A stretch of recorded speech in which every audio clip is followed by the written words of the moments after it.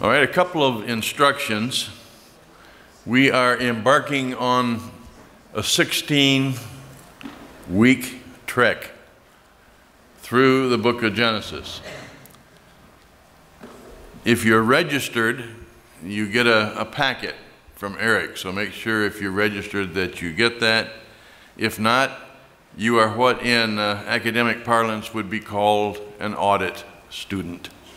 That is, you sit in here and you get the same material. It's just like Sunday school. The difference being you don't have to take tests. Sounds like a good deal to me. You don't have to compose anything. You don't have to turn in anything. You just sit here and enjoy yourself, and I hope that it is an enjoyable experience. All right, Genesis. Genesis, as I'm sure most everybody knows, is the book of beginnings. It's normal to start out a, exercise like this with an introduction. I hate introductions. Introductions are a necessary evil. I prefer to move quickly to the narrative, always have, but unfortunately, most every course is formatted so that it has an introduction. And after we get airborne, it'll be a good bit more palatable to me, and I hope to you. But this is something that we have to wade through in order to lay the groundwork here for the study of the book. And by the way, whenever I'm uh, doing anything and somebody, whether it be an, a doctor operating on me or whatever, I want to know his credentials. I don't want to know that he finished last in his class in medical school and the procedure that he's doing on me. And so I've taught this 23 times. This will be 24, going through the book of Genesis. It was something that I taught when I was teaching at Baptist Bible College for 20 years in Springfield and have taught it uh, two or three times since. So I'm not a novice exactly. As a matter of fact, my concentration when I was working on my doctor's degree was Old Testament exposition. So uh, whether I sound like it or not, I have been exposed. All right, here are some need to know facts, which is really the purpose of an introduction. In modern church history, the Genesis account was the primary beachhead of the attack on the plenary verbal inspiration position long held before the modern rationalistic position spawned in Germany took hold in the mid 19th century. And once Genesis was questioned, this uh, critical apparatus was applied then to quickly to the rest of the Bible. You go from Genesis to a couple of Isaiahs, then three Isaiahs, then four Isaiahs. Then they moved into the New Testament, and the miracles of Jesus came under the gun. And then, of course, uh, the book of the Revelation doesn't belong there, and some of the canonicity of the books was questioned. So Genesis is very important. It lays the groundwork for the rest of the book. Now, this initial attack on Genesis was called the JEDP theory. JEDP. That stands for something. It's also known as the Graf Wellhausen theory. Now, why use the initials? Because they divided the book up, the book of Genesis, by how the author treated the name of God. And therefore, we have in the Torah, the number one book, the book of the law, it was added to and changed by an Elohistic writer, a Jehovistic writer, a Deuteronomic editor, and then some priestly emenders coming down near the captivity.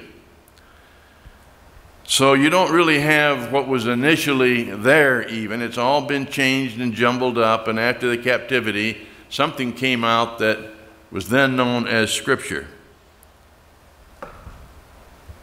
Now, to accept this tripe, dozens of New Testament references have to be discounted amended, expunged, including the clear pronouncement of Jesus Christ on several occasions. Matthew 19, 4 through 6, and 24, 37 through 39. The clearest probably is John 1, 17 which reads, For the law was given by Moses. That seems pretty clear, doesn't it? Who wrote it? For the law was given by Moses, but grace and truth came by Jesus Christ.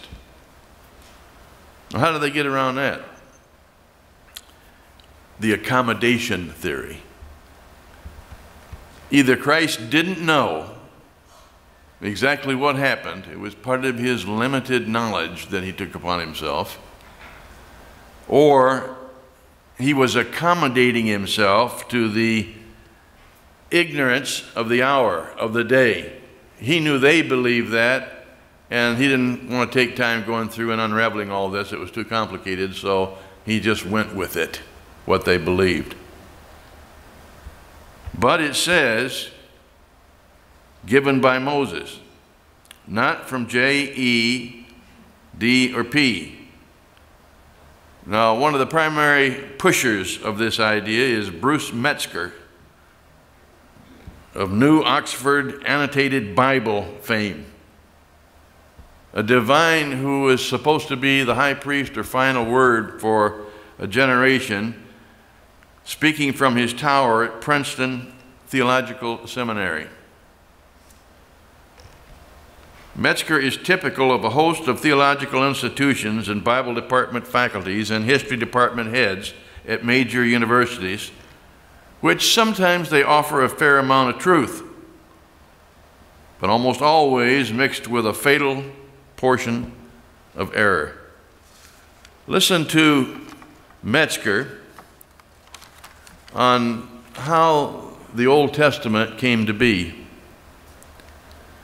The Old Testament may be described as the literary expression of the religious life of ancient Israel. All right? The Israelites were more history conscious than any other people in the ancient world. Well, that's true as far as it goes. Then he falls off the wagon. Probably. As early as the time of David and Solomon, out of the matrix of myth, legend, and history, there had appeared the earliest written form of the story of the account, which was later modified in form to become a part of Scripture. But it was to be a long process, a long time, before the idea of Scripture arose and the Old Testament took its present form. The process, key word, by which the Jews became the people of the book was gradual. And the development is shrouded in the mists of history and tradition. Translation, shrouded. Whenever you see something like that, we don't know what happened and we don't have a clue, so we'll just say it was shrouded. The date of the final compilation of the Pentateuch or law which was the first corpus of the larger body of literature that came to be regarded by the Jews as authoritative scripture, is uncertain, although some have conservatively dated it at the time of the exile in the sixth century. Well, chronologists, Bible teachers, from Ussher to Ruckman, push it to 15 to 1700 BC. A little difference. Who's right? Usually, a liberal will try to make a thing smaller or shorter or less lengthy. And that's how they operate.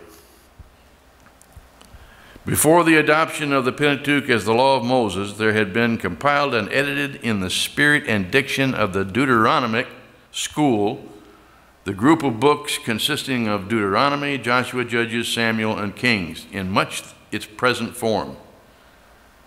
Originally, of course, it was not so highly regarded as Scripture. It kind of grew into becoming Scripture.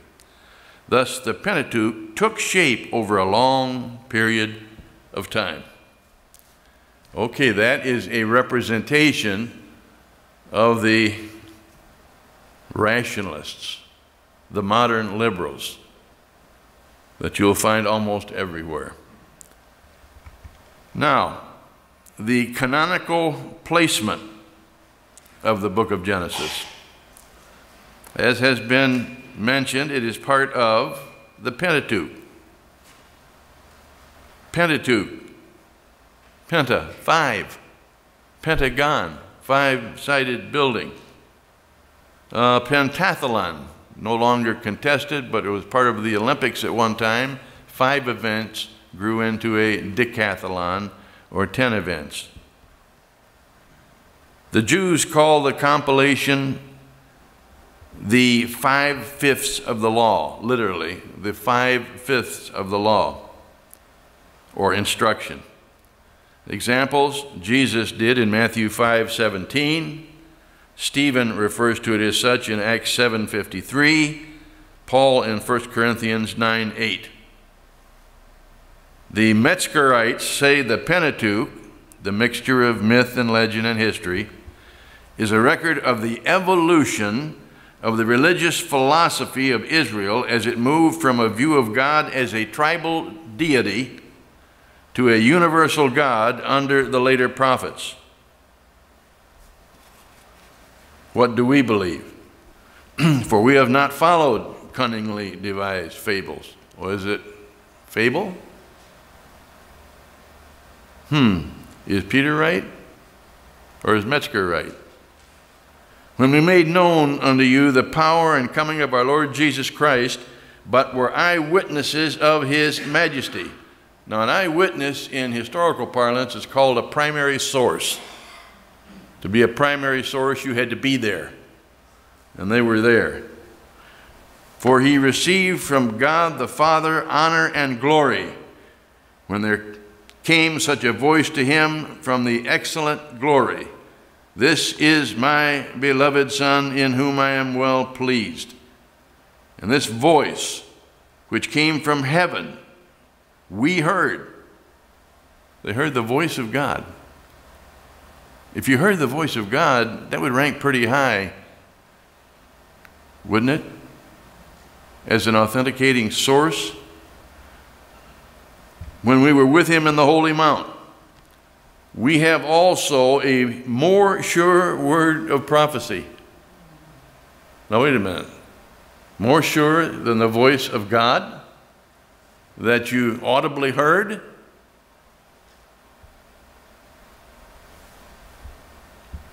And of course, you can mix it up after a while, your memory can fail you. There can be some problems if you try to pass it on to someone else. But if it's written, hey, it's pretty easy to authenticate, isn't it? Wherein ye do well that ye take heed as unto a light that shineth in a dark place. Peter, I think, here is talking about the church age, that time before Jesus comes, until the day dawn. I would point to the watches of the New Testament and the day star arise in your hearts, knowing this first, that the prophecy of the Scripture, no prophecy of the Scripture is of any private interpretation. For the prophecy came not in old time by the will of man, but holy men of God spake as they were moved by the Holy Ghost, borne along by the Holy Ghost. Now, one alleged problem in Moses being the author of the Pentateuch Deuteronomy 34 5. And if you get into a discussion with a liberal, he's going to bring this up. He didn't author the whole thing. Well, why didn't he? Because he couldn't. The poet wrote, On Nebo's lonely mountain, on this side Jordan's wave, in a vale in the land of Moab, there lies a lonely grave. And no man saw that sepulchre, no man saw it ere, for the angels of God upturned the sod and laid the dead man there. And it goes on. Why could he have not recorded the whole thing? Because he was dead during part of it. He was dead. This is the argument of a rascal. Because at the end, someone added just a little bit. Well, we can claim that Moses isn't the author. You are a rascal if you retreat there. The purpose of the Pentateuch, which would, of course, include Genesis. First of all, to establish guilt. To establish guilt. Romans chapter 3. Now we know that what things soever the law saith, it saith to them who are under the law. Target audience, not you for the particulars, who are under the law. Dr. Samuel Johnson, I believe, in literary history, was the first one to come up with when you're analyzing anything, you need to ask yourself a number of questions, such as who, what, when, why, where, to what extent. Whenever you come to something, you ask those questions, or you are misapplying it. And of course, Paul doesn't want anybody misapplying here. It's targeted to those that are under the law, that every mouth may be stopped and all the world may become guilty before God. That's the purpose of the Pentateuch, of the law. Therefore, by the deeds of the law, there shall no flesh be justified in his sight. Power of this thing is limited. For by the law is the knowledge of sin. But now the righteousness of God without the law, legally gone, is manifested, being witnessed by the law and the prophets. Being witnessed by the law and the prophets. There's something happened that has been predicted in the law and the prophets.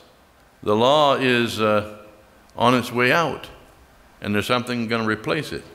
Even the righteousness of God, which is by the faith in Jesus Christ, unto all and upon all them that believe, for there is no difference. It was pretty much for the Jews before, but it's been expanded now to all, to everyone, universally. Everybody has a shot. Sorry, John Calvin. For all have sinned and come short of the glory of God, being justified freely by his grace through the redemption that is in Christ Jesus. So it shows where you have missed the mark. It shows as you put your life up against the law, you came up short. John Lennon, when exposed to this, said, Well, if that's true, I guess that means me. Well, John, you were right that time. You were wrong most of the time when you're writing your songs, for instance, but you were right that time. It means you and everybody else. All right, the purpose of the Pentateuch to establish guilt. Secondly, to instruct and provide hope. For whatsoever things were written aforetime were written for our learning, that we, through patience and comfort of the Scriptures, might have hope. That's why you've got it. Romans 15 4 to provide examples and admonition 1 corinthians 10 6 now these things were our examples to the intent we should not lust after evil things as also as they also lusted now they they messed up in the old testament and they went down alleys they shouldn't have gone down and they lusted and this is to show you that it doesn't come out very well when you do that if you just give your mind even just free vent to roam anywhere it wants to, you're going to wind up with lust, and the Pentateuch then can be a purifying influence and a warning. And then next, to foreshadow the future. Hebrews chapter 10, verse 1. To foreshadow the future. For the law, having a shadow, what is a shadow? It's something you can pass through and not really realize you're passing through it if you're not careful. It is an outline.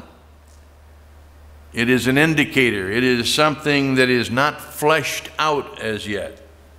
For the law having a shadow of good things to come, and not the very image of the things, not fleshed out, not corporeal as yet, it's a promise that will be fulfilled and fleshed out later on, can never, with those sacrifices which they offered year by year continually, make the comers thereunto perfect.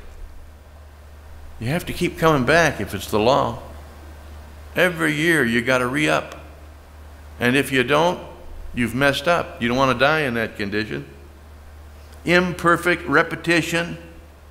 You are staying in the game when you do that by your obedience.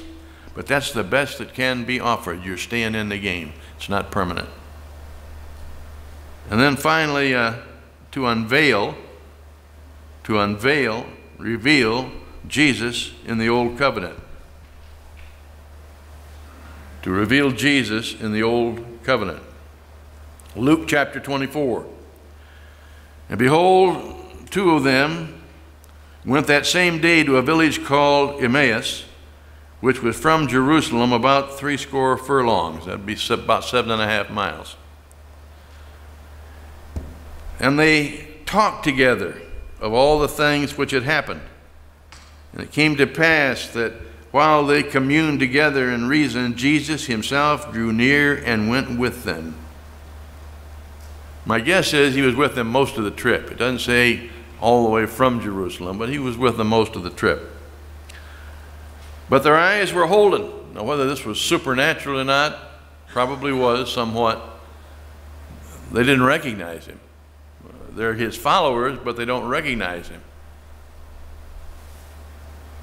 That they should not know him. And he said unto them, What manner of communications are these that ye have one to another as ye walk and are sad? What's the matter with you boys? You look like you lost your best friend.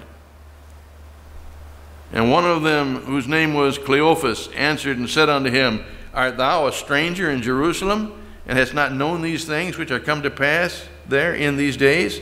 I mean, what planet have you been on, stranger? You don't even know what happened? The whole place is shaken up. And he said unto them, What things? Jesus is playing uh, cat and mouse with them here. What things? And they said unto him concerning Jesus of Nazareth, which was a prophet. Well, they got it one third right. He's a prophet, priest, and king, but he was a prophet. They didn't even realize that he was God yet, apparently. They just knew that he was a mighty guy and he was connected. Mighty indeed before God and all the people and how the chief priests and our rulers delivered him to be condemned to death and have crucified him.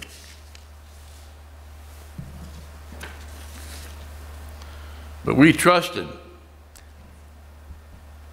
that it had been he which should have redeemed Israel. They're looking for a deliverer from Rome. And besides all this, today is the third day since these things were done. Yea, and certain women also of our company made us astonished, which were early at the sepulchre. And when they had found not his body, they came saying that they had also seen a vision of angels, which said that he was alive. And certain of them which were with us went to the sepulchre, and found it even so as the women had said, but him they saw not. He had disappeared.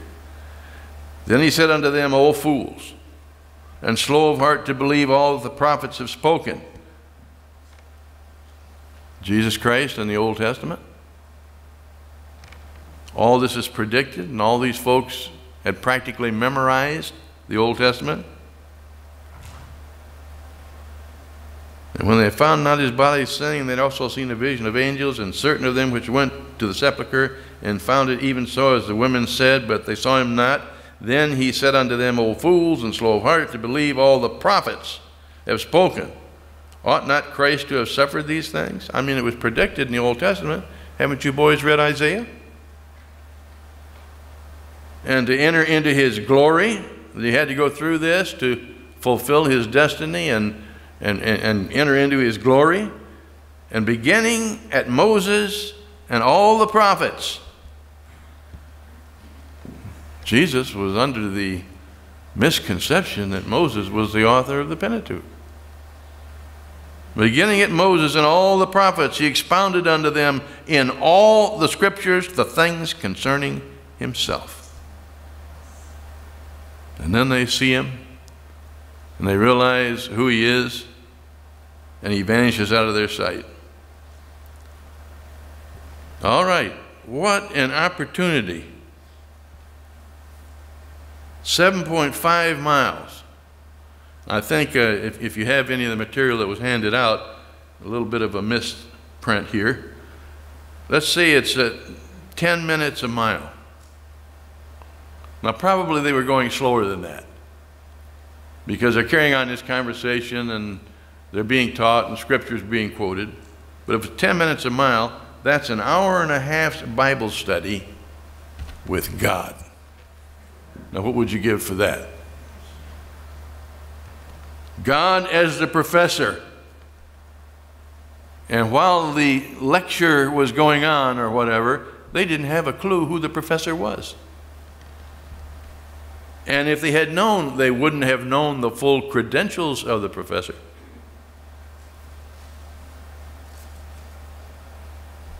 What an opportunity. And then there is the uniqueness of the contents of the Pentateuch and the rest of the Bible. Suppose it was made up by these men. Suppose Metzger's right. And some men got together, and this one tweaked it, and that one tweaked it, got down to the priests, and then they said, well, let's put it into a final form. Man would not tell history, which is actually his story. Man would not tell it and tell on man the way God directs the writers to tell it. Because it exposes wickedness and the, the filthy sin of men and of man and of individual men. And not only individual men, of the writers, of the writer Moses. Someone said we are taught God's law from a murderer. From a murderer. Well, who's the murderer? Moses. We are taught worship from an adulterer. Here's how you worship. Now, I know I messed up, but I had an affair with this woman. We're taught worship from an adulterer named who? David. We're taught God's sovereignty and possible serenity from a sufferer named Job. And we're taught God's grace from a brawler named Peter. Genesis, of course, is the beginning of all matters. It's the beginning of time and space and the ecosystem, of sin and its solution of sacrifice or offerings, of prophecy, of the decree of God or the plan of God being revealed, the introduction of Satan, the start of civilizations, of cities, of war, of nations themselves, of Israel being God's people, of dispensations, the seven or eight, depending on your view of the diff different dispensations Edenic, Adamic, Noahic, Abrahamic, grace, tribulation, millennial kingdom, and then some would add eternity.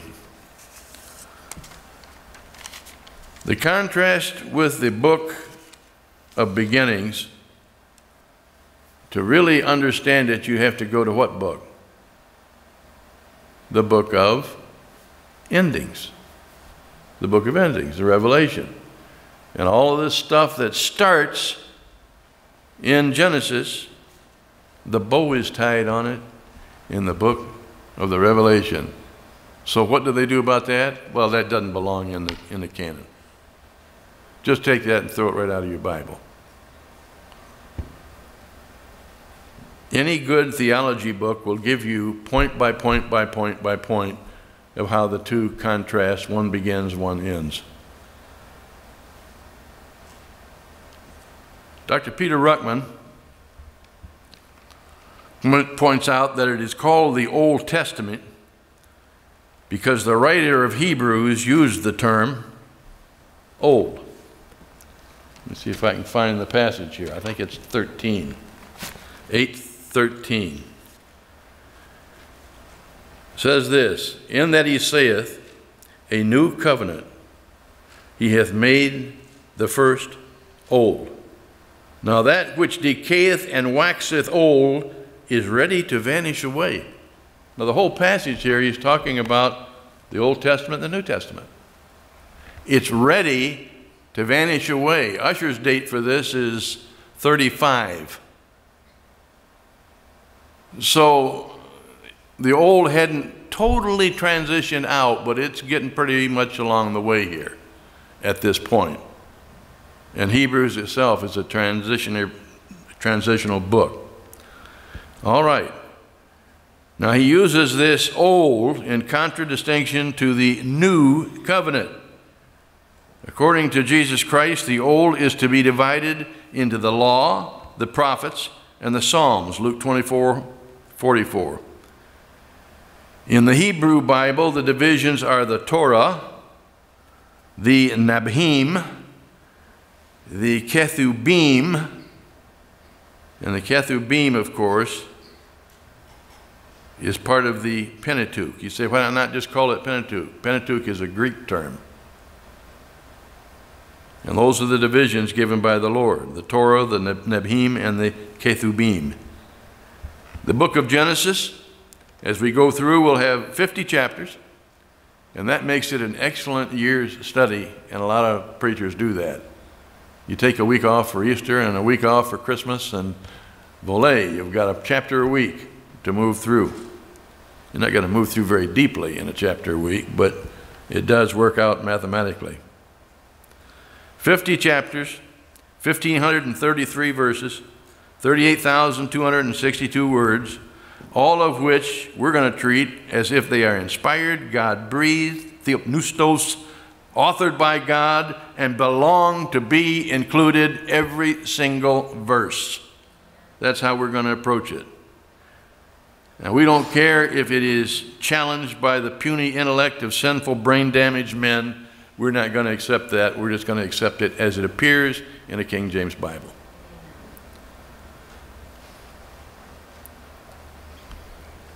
All right, let's now move to the narrative where I would have liked to have started. The text, raw scripture, something you can chew on. Much more interesting, inspiring contents is the book itself. The exposing of Scripture. In the beginning, God created the heaven and the earth. In the beginning.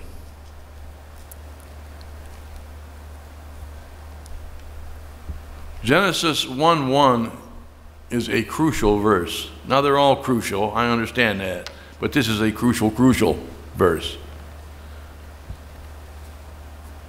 The liberals try to say it's not, and they question the first three chapters of Genesis. Just throw those out. Fantasy, first three chapters. Can't depend on any of that Adam and Eve stuff in that story. It makes a nice mythology, but it's not real. Well, if it is untrue, John's writing of John 3:16 is also untrue. It's just the vaporings of a fertile mind. And it pretty much just repeats what the beginning of Genesis says, the beginning of John. If it is untrue, it makes our brother John a charlatan. It makes him the purveyor of chicanery, along with this little group that got together, some of them related to each other, and they decided to perpetrate this fraud on the rest of humanity. So from Galilee way, they filtered down and they, uh, they started this, this hoax. By the time that John writes his book, his, his gospel, he's probably in his 90s. Some of the material says he was, he was about 97 AD or so when he died. He has watched at least 10 of the apostles die perpetrating the hoax. And he's willing to go all the way to the grave himself, even if he's the only one left lying about this. What a ridiculous scenario. When the other guys, all they had to do to get off was just say, okay, it's a hoax. That's all they had to do.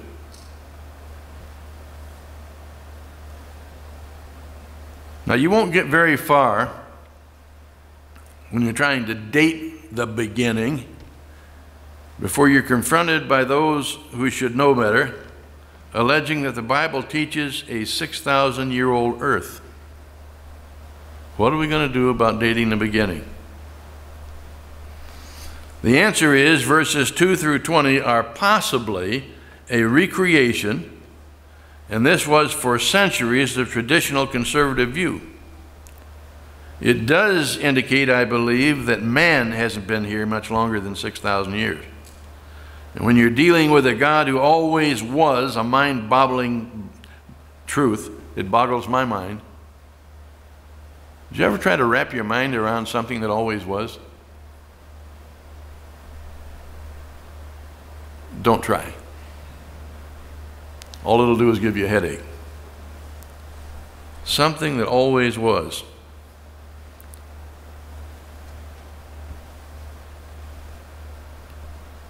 But if you have a God who always was,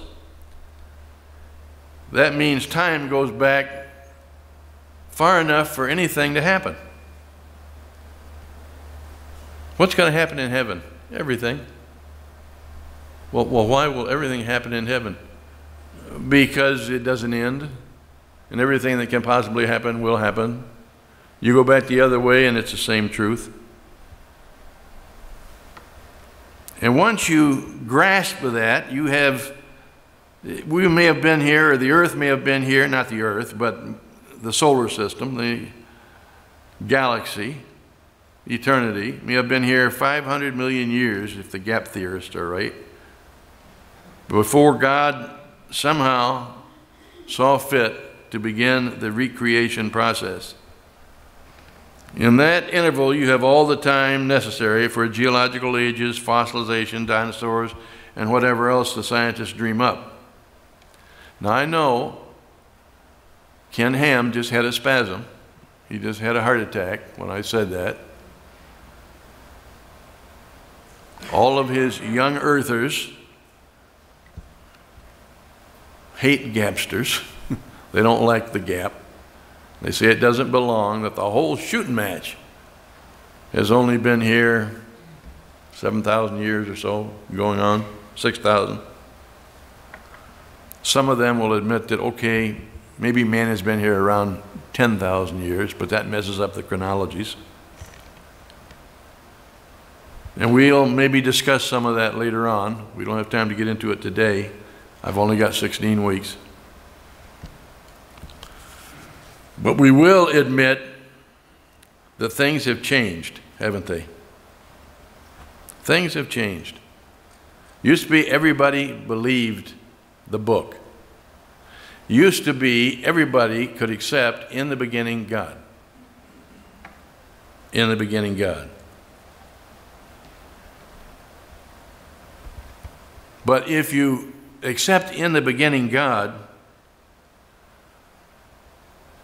you're going to do away with a lot of man's philosophy. That's the problem. If you do in the beginning God and really believe it, and American Jews do, well, that does away with Darwinism. Well, that's about three quarters of the high school curriculum. And atheism and agnosticism and pantheism and humanism and modernism and materialism and naturalism and fatalism and Unitarianism and rationalism and existentialism and idealism and uniformitarianism and come up with another 30 isms, and you get the same result. In the beginning, God. In the beginning, God. Four words. And on those four words hinges what is called your worldview. What is your worldview? Well, can you say, in the beginning, God?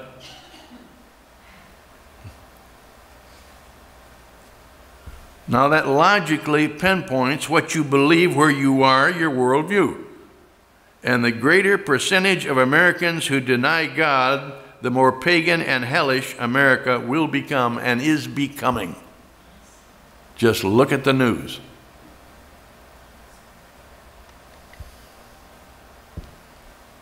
The bottom line, it's a potent verse. Is it any wonder that so many have attempted to use the penknife of philosophy to explain it away? David couldn't have been more literally incisive when he cried, Thy word is true from the beginning. Psalm 119, 160 from the beginning. In the beginning, the Greeks and universalists who taught the universality of matter, as well as the moderns who adhere to uniformitarianism, have just been dumped in 13.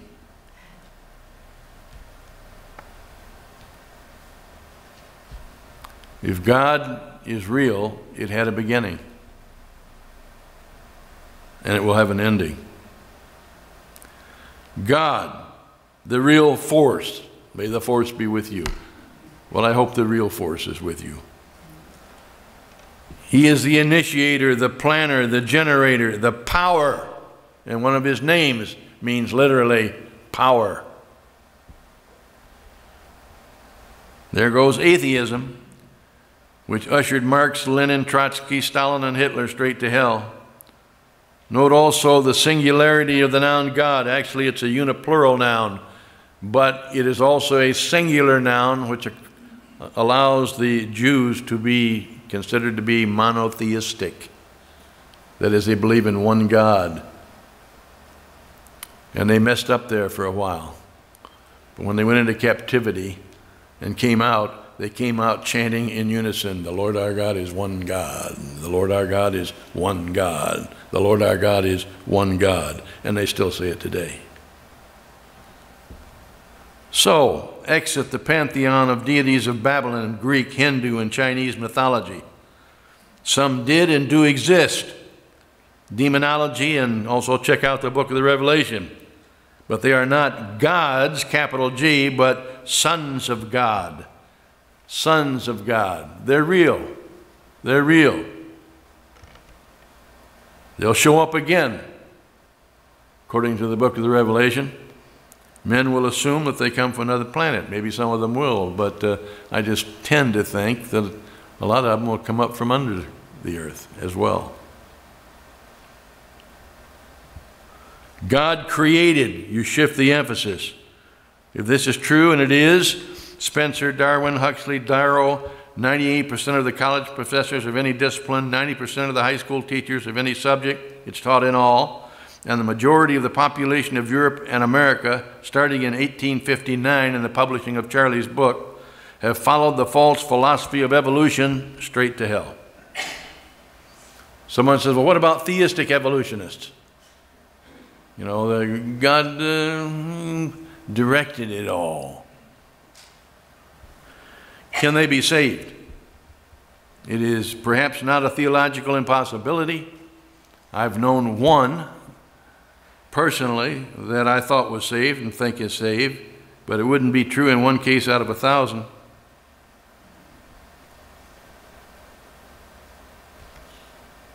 You see, the creation that God engaged in was not directed and slow, it was immediate and out of nothing out of nothing.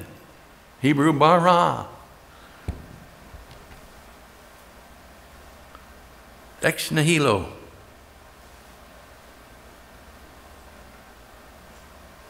Nothing has a problem evolving. Now think about it. Another one of those mind benders. I was in a debate one time with a guy, and he was trying to convince me that it was all slowly formulated and everything. And I said, yeah, but, but the Hebrew word is out of nothing. He said, huh?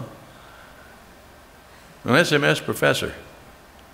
I said, define nothing for me. Just define it. And he said, uh, well, that's kind of hard. Yeah. It's kind of hard to do anything with nothing, too, unless you're God. The impossibility of nothing evolving into something is enough to stop an evolutionist in his tracks. God created the heaven and the earth. Unity, Unitarianism, Brahmanism, Christian science, all forms of pantheists bite the dust and find out that the dust isn't God or the lice in the dust. They're not God. Nature, you want to worship God in nature? Go out there to the seashore during a typhoon or a hurricane sometime and worship God in nature. Nature's cursed. Nature groans. Nature travails. And nature and nature's God are separate entities because nature wasn't always. God was always.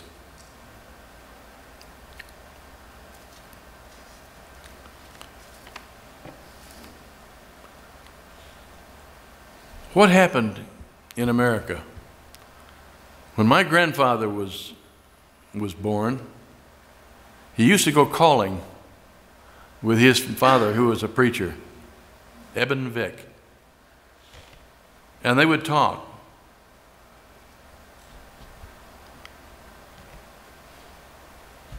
And he says that they were out one time and Dr. Vick, then a young child asked his dad, How many people in this county don't believe in God? And folks knew everybody in the county at that time. It's really weird. And he said, Two. Two people in a county in Kentucky don't believe in God. Dr. Bob senior at Bob Jones University, reared in Alabama. He said in chapel one time there was one person in the county that didn't believe in God. One.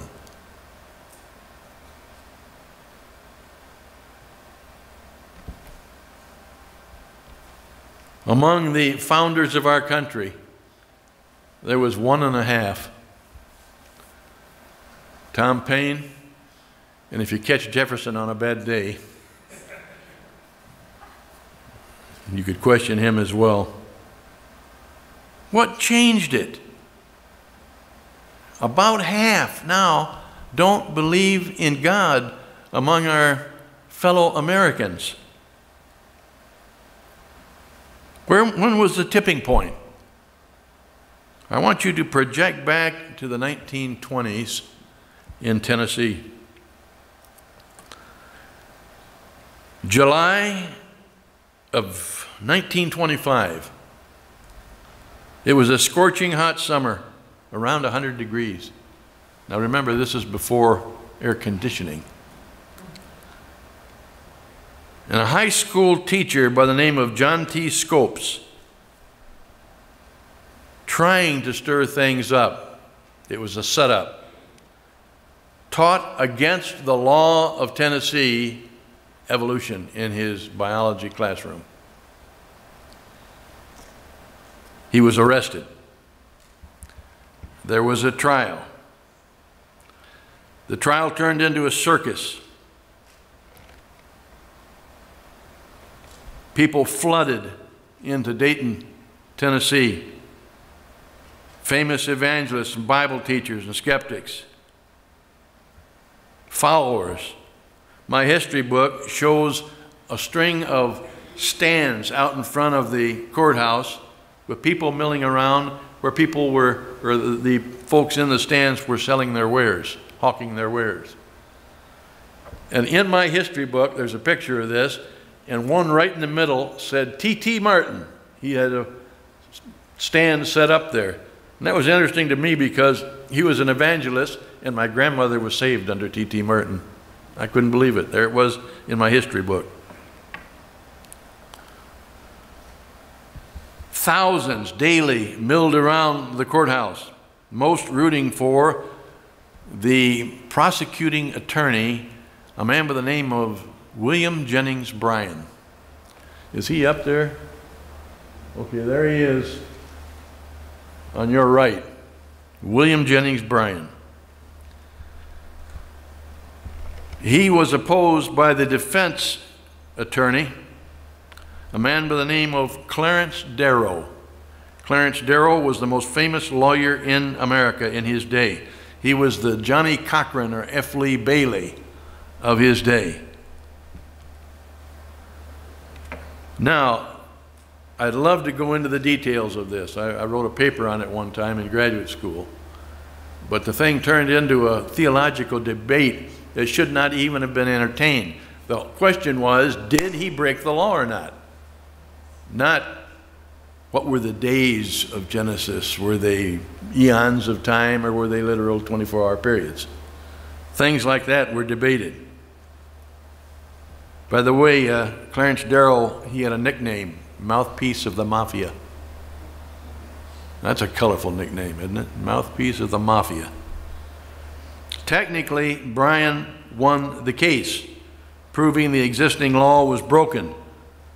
But it was brutally hot, around 100 degrees, hotly contested. Darrow realized that Bryan was hurting, and so he just pressed him and pressed him and pressed him.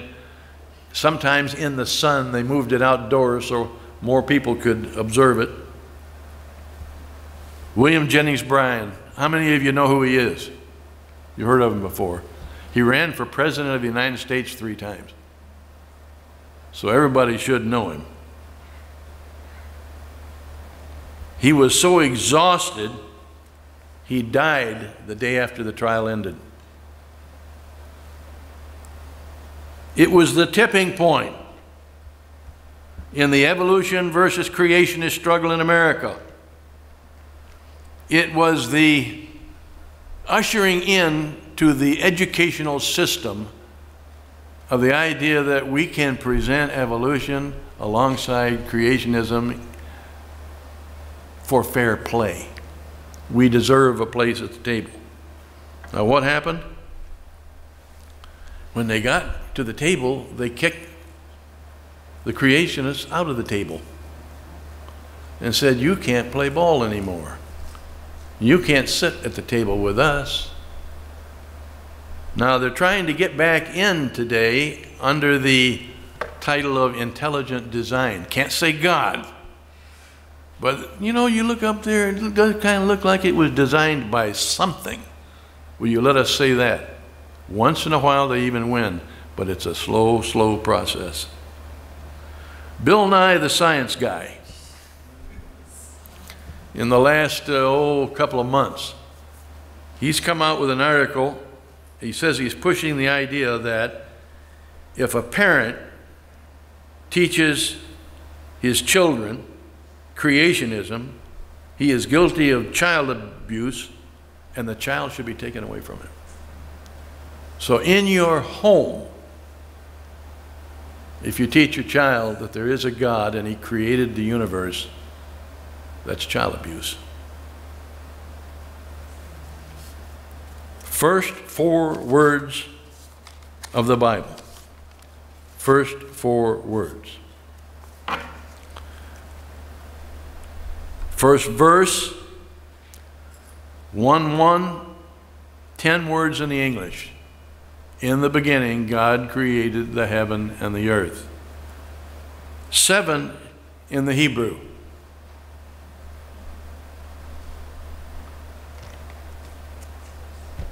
We, uh, most of us, Englishmen and women, coming from somewhere over there. What do we count by? We count by tens, don't we? Count by tens. Ten words. Completion. What do Hebrews count by? By sevens, don't they? Read your Bible, read the book of the Revelation. They count by sevens. Bereshith, bara, Elohim eth, Hashemayim with Heritz. Seven words, 28 letters, four times seven. If you can go that far without blowing a fuse, you'll probably wind up a saved man or woman. And I trust that describes everyone here. All right, God bless you.